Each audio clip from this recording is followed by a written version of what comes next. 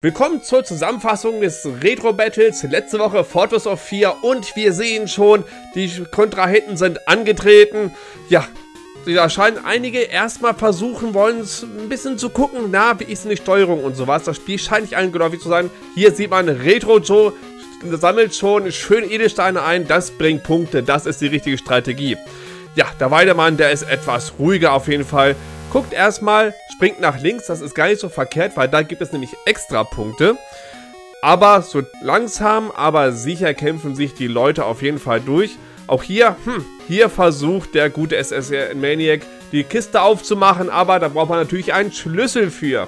Hätte man natürlich wissen sollen, aber das Spiel ist natürlich nicht jeden geläufig. Gucken wir mal. Der Retro Joe sprecht sehr schnell voran. Das ist eine sehr, sehr schwere Stelle, wo er gerade ist. Mit den zwei verschiedenen Wolken, das ist gar nicht so einfach darüber zu kommen. Das muss man erstmal schaffen. Und da hat er als erster das erste Level geschafft, der Retro Joe. Aber es geht weiter. Schnelligkeit gewinnt hier nicht unbedingt den besten Preis. Es geht ja darum, wer genug Punkte hat und nicht wer möglichst schnell bald kommt. Ja, da sieht man, da bin ich jetzt dabei. Auch hier diese Wolken, das ist echt eine fiese Stelle. Da denke ich mal, da werden so einige Probleme haben. Ich habe auch hier schon ein Leben verloren natürlich. Ja, unten links sehen wir den guten Perodor. Der ist äh, sehr, sehr vorsichtig. Und der MZ und ich haben es auch das erste Level geschafft. Also drei sind schon im zweiten Level, zwei, no, äh, drei noch im ersten.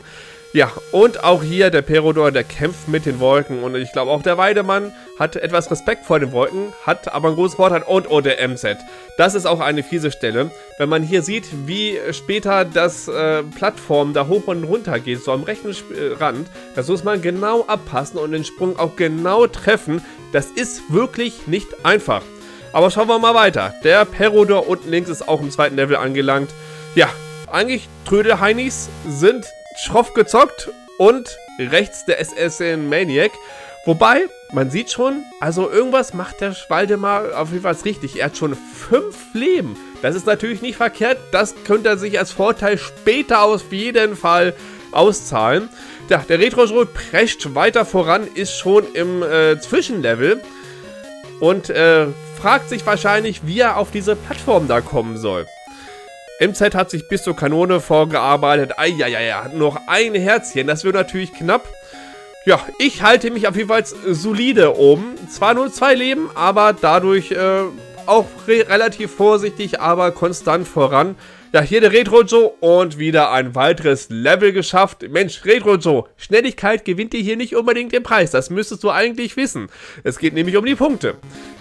Das fand ich immer sehr schön, wenn ihr bei Retro Show sieht, dass man dann da oben quasi auch quasi das Level, selbe Level nochmal spielt, aber eine andere Ebene. Eine sehr, sehr schöner Part. Ja, die Schlangen unten links beim Perodor, die fand ich immer sehr nervig. Die nehmen nämlich viele, viele Schläge rein. Und der Waldemar, ja, wie ich schon beschrieben habe, wie man sieht, ist aber an dieser problematischen Stelle mit dem Block. Und, oh, er hat es geschafft. Es sah knapp aus, aber nun gut. Ja, der SSL Maniac ist immer noch im ersten Level. Mensch, zu langsam sollte man natürlich auch nicht machen. Und der Joe ist schon weiter. Mensch, wie der hier vorprescht. So ein Tempo, das muss man auch erstmal schaffen, ne? Und er hat auch vier Leben. Also äh, ganz, ganz äh, unbedarft mit den Einsamen ist er auf jeden Fall nicht. Das habe ich hier an dieser Stelle auf jeden Fall falsch gemacht. Wie man sieht, ich habe immer noch zwei Leben, während sich die anderen fleißig Zusatzleben einsammeln. Da hätte ich auf jeden Fall mehr drauf achten sollen. Und jetzt ist auch der MZ weiter. Sehr schön. Auch oben jetzt auf der Brücke wäre der SSL Maniac. Mein Gott, Junge. Sei froh, dass kein Zeitlimit da ist. Es geht zwar um die Punkte, aber so ein bisschen vorankommen sollte man dann vielleicht schon. Aber immerhin scheinst du die Wolken einigermaßen hinzukriegen. Und? Und? Schafft er den Sprung? Und? Ah, oh, knapp vorbei. Leben verloren. Und wieder von vorne. Beziehungsweise nicht zum ganz vorne zum Glück. Ganz zurück wird man zum Glück nicht versetzt. Ja, schauen wir einfach mal, wie es hier weitergeht. Der Waldemar, der ist auch schon auf der oberen Ebene. Ich habe jetzt auch einen Zweig geschafft und der Retro Joe ist schon beim ersten Boss. Mensch, schnell, gerade gestorben. Er scheint nicht so unbedingt mit den Pattern äh, zurechtzukommen. Dabei ist es nämlich ganz einfach, wie man hier bei mir rechts sieht. Das habe ich nämlich noch gut im Kopf gehabt. Das Spiel habe ich natürlich in meiner Jugend schon öfter gespielt und das Bewegungsmuster ist bei mir auf jeden Fall im Kopf geblieben. Man muss zuerst oben sein, wenn er so nach unten kommt. Dann kommt er von oben und der Joe hat verloren. Jetzt gerade, wo ich den Boss erklären wollte. Joe, schön, dass du dabei warst. 7050 Punkte hast du erreicht. Schnelligkeit gewinnt dir leider keinen Preis auf jeden Fall. Gucken wir wie es weitermacht. Ich bin äh, ebenso beim Boss. Auf jeden Fall muss man immer die Plattform zwischen der obersten und der unteren da wechseln. Nach vorne gehen oder sowas bringt einen da gar nichts. Aber schauen wir mal auf jeden Fall. So, auch der MZ ist bei dem Boss angelangt. Und ich bin gerade verwirrt, wo ist der Weidemann da? Hat der da ein Bonuslevel entdeckt? Ich schätze schon, ich hätte da vielleicht gerade mal darauf achten sollen, aber ich wollte euch kurz noch mal den Boss erklären. Auch der MZ hat so seine Probleme damit, ne? Und links der Perodor, der ist, bewegt sich auch langsam Richtung Boss. Und wie ich sehe, der SSEN Maniac hat endlich das erste Level geschafft. Gratuliere, mein Guter, aber ein bisschen langsam. Da habe ich auch schon den ersten Boss erwischt und äh, komme zurück in die nächste Levelabschnitt. Ja, der Weidemann, der macht es auf jeden Fall richtig mit seinen fünf Leben bisher. Mein Gott, das muss man erstmal schaffen. Okay, unten links der, äh, der MZ ist ausgeschieden. Ich habe gerade nicht drauf geachtet. Der MZ ist jetzt auch bei dem ersten Boss ausgeschieden. Es sind nur noch vier Leute übrig. Ja, links der Perodor hat wieder ein Level abgeschlossen. Kämpft sich jetzt auch so langsam aber sicher im Boss gegenüber, während ich jetzt hier schon im zweiten Kapitel auf jeden Fall unterwegs bin. Da wird es nämlich schon schwieriger. Das Thema ist so ein bisschen mehr Kerker verlies, bisschen gruseliger auf jeden Fall.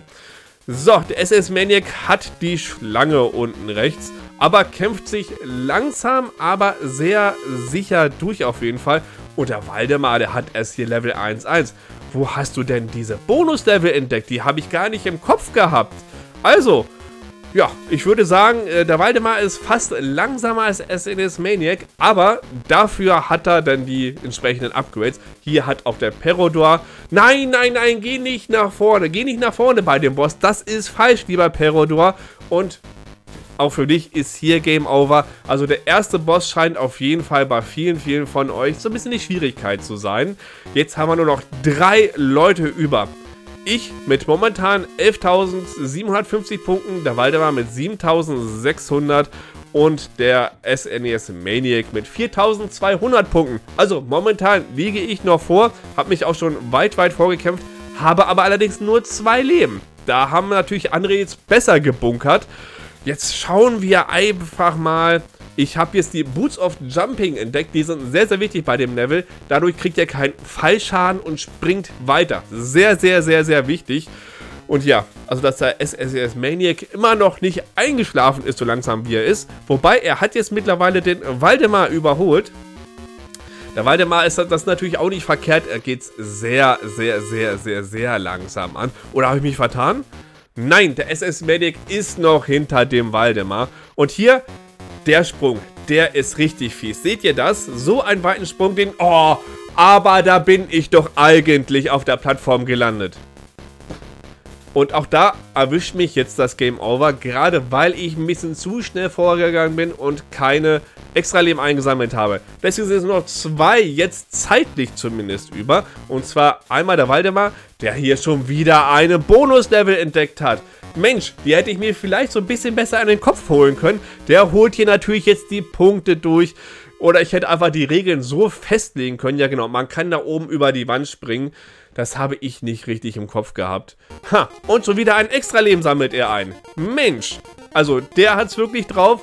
Bisschen langsamer alles erkunden, das zahlt sich hier auf jeden Fall aus. Aber schauen wir einfach mal weiter. Sieben Leben hat der Waldemar jetzt schon. Meine Fresse, das ist ganz schön ordentlich auf jeden Fall. Aber mal gucken, wie sie beim ersten Boss kommen. Ich hätte vielleicht die Regeln so machen sollen, wer kommt am weitesten. Da hätte ich nämlich gar nicht so schlecht abgeschnitten, wie es aussieht.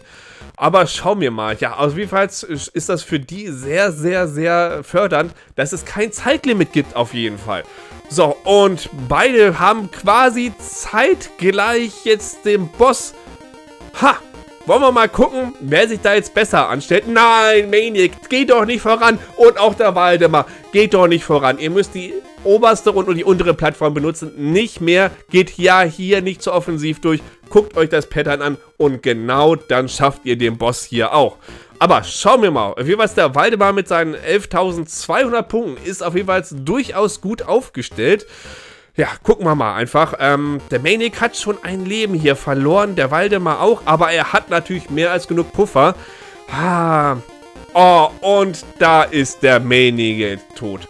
Mein Gott. Gut, der erste Boss erscheint für viele von euch auf jeden Fall ein großes Hindernis zu sein. Jetzt haben wir noch den Waldemann, Waldemar und äh, der hat natürlich noch sechs Leben und ist damit auch sehr, sehr, sehr solide aufgestellt auf jeden Fall. Da sieht man schon bei ihm im Gesicht diese Anspannung. Er will es einfach schaffen, den Boss. Und er hat es geschafft. Perfekt. Jetzt schauen wir einfach mal, wie es weitergeht. Auch er kommt jetzt in die zweite Welt und zwar in diese Kerkerwelt. Er freut sich auf jeden Fall. Und hier unten sehen wir schon die gruseligen Skelette. Ha, mal gucken, wie weit er kommt. Er ruft auf jeden Fall, die Musik passt. Auf jeden Fall, das ist bei diesem Spiel auch ein sehr, sehr, sehr, sehr hohes Gut, die Musik, die geht sofort ins Blut, die ist perfekt. Da hat Rare wirklich was 1A Spitzenmäßiges entwickelt. Und auch hier wundert er sich jetzt. Ha, wie komme ich da jetzt am besten hoch? Komm, wie komme ich auf diese Plattform? Da bräuchtest du jetzt die äh, Springstiefel, mein Guter dann würdest du das auch gut auf, äh, aus dem Stand heraus schaffen. Ja, die Spinne hat kein Netz.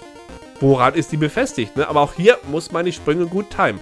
Das unterschätzt man bei diesem Spiel. Man muss sehr, sehr gut die Sprünge timen. Auf jeden Fall 13.000 oder 14.000 Punkte mittlerweile schon. Damit ist auf jeden Fall Platz 1 dir schon einmal sicher. Aber zu der genauen Auswertung kommen wir gleich noch natürlich. Ja, ähm, ein leckerer Schinken wartet auf ihn, aber leider ist er da bei der Spinne gefangen und hat da zu viel Schaden eingenommen, obwohl er sich durch diesen Schinken natürlich geheilt hat. Ja, schauen wir mal. Und noch mehr Kristalle. Ich glaube, dein Punktevorsprung, lieber Waldemar, der kann dir keiner mehr nehmen, auf jeden Fall. Und er guckt jetzt in einen richtigen Weg. Er hätte da auch oben drüber springen können. So viel weiß ich, aber mit den Abkürzungen, da bist du ja auf jeden Fall sicherer. Ja, schauen wir einfach mal. Da kommt jetzt so langsam aber sicher jetzt die Stelle, wo ich auch gescheitert bin, weil es einen wirklich tricky Jump gibt. Aber er hat noch sechs Leben. Also das sieht eigentlich gar nicht so verkehrt aus. Und es sind natürlich Wassertropfen. Und wie in jedem europäischen Spiel sind die natürlich auch verletzend. Und wie man sieht, ziehen die auch durchaus ordentlich was ab. So, er holt sich den Schlüssel auf jeden Fall. Ja, wie kommst du da jetzt hoch, Waldemar? Wie kommst du da jetzt hoch? Eigentlich müsstest du jetzt zurückgehen und dann da raufspringen. Dann wäre, würde es auf jeden Fall gehen. Da ist auf jeden Fall eine Schatzkiste. Da gucken wir mal, was da jetzt drin ist. Eine Potion of Healing. Ja, wollen wir mal gucken. So. Und jetzt noch mehr Punkte. Mein Gott. Also so ein Punktevorsprung. Hier brauchst du die Boots of Jumps auf jeden Fall, um darauf weiterzukommen. Das schaffst du sonst nicht. Ich Bah, weiß jetzt gar nicht. Ich meine, du hast die nicht eingesammelt. Du hättest nämlich die Schatzkiste oben einsammeln müssen. Und wie man sieht, ist der Sprung eindeutig zu kurz. Du brauchst die, Sp äh, die Boots of Jump, heißen die, glaube ich, im Englischen, auf jeden Fall. Da kommst du anders leider nicht rüber. Das brauchst du gar nicht erst versuchen. Und da würdest du jetzt wahrscheinlich deine fünf Leben jetzt ver... Nein, das schaffst du nicht. Du brauchst die Stiefel, lieber Waldemar geh doch einfach mal zurück und dann würdest du es auch weiter als ich schaffen. Aber wie man sieht, ich bin froh, dass ich jetzt nicht der Einzige bin, der an dieser Stelle gescheitert ist, weil die ist wirklich tricky und wirklich nicht einfach. Ja, da fragt er sich anscheinend auch schon, wie schaffe ich das am besten? Er hat natürlich schon die perfekte Sprungposition eigentlich ausgesucht, indem man nur mit den Hacken auf dieser Plattform gewartet ist. Aber jetzt hat er noch zwei Leben. Ich glaube, das wird jetzt auf jeden Fall nichts mehr. Und, und, und, ah. Aber auch da war es genauso wie bei mir. Eigentlich hätte man jetzt auf der Plattform landen müssen, oder? Oder was meint ihr? Und wollen wir mal schauen. Und, und, und, und, ah, und schon wieder nicht. Und auch hier hat der Waldemar als Game Over, aber natürlich mit 16.400 Punkten ein sehr, sehr solides Ergebnis. Aber das zu der Zusammenfassung. Jetzt gucken wir uns mal einfach mal die Punkte an. So, kommen wir zu der Siegerehrung. Auf den letzten Platz landet der SNES e Maniac mit einem Punkt und 6400 äh, erreichten Punkten. Am fünften Platz ist der gute Joe mit zwei Punkten und erreichten 7050 Punkten. Auf dem vierten Platz ist der MZ, der kriegt vier Punkte und hat 7150 Punkte erreicht. Also noch 100 Punkte vor dem guten Joe. Auf den dritten Platz Bronze erhält der Perodor 6 Punkte und hat 9200 Punkte erreicht. Auf den zweiten Platz komme ich, ich kriege die Silbermedaille, krieg 8 Punkte und habe 12.950 Punkte erreicht. Und auf den ersten Platz natürlich der Waldemann bekommt 10 Punkte und hat 16.400 Punkte im Spiel erreicht. Wahnsinn! Es war eine wunder wunderschöne Aktion und ich bedanke mich bei allen euren, äh, bei allen Zuschauern wollte ich sagen. Oh mein Gott, ich habe zu viel geredet. Ihr fantastischen Menschen, ich danke euch, dass ihr reingeschaltet habt. Macht's gut und wir sehen uns bei der Siegerehrung. Tschüss.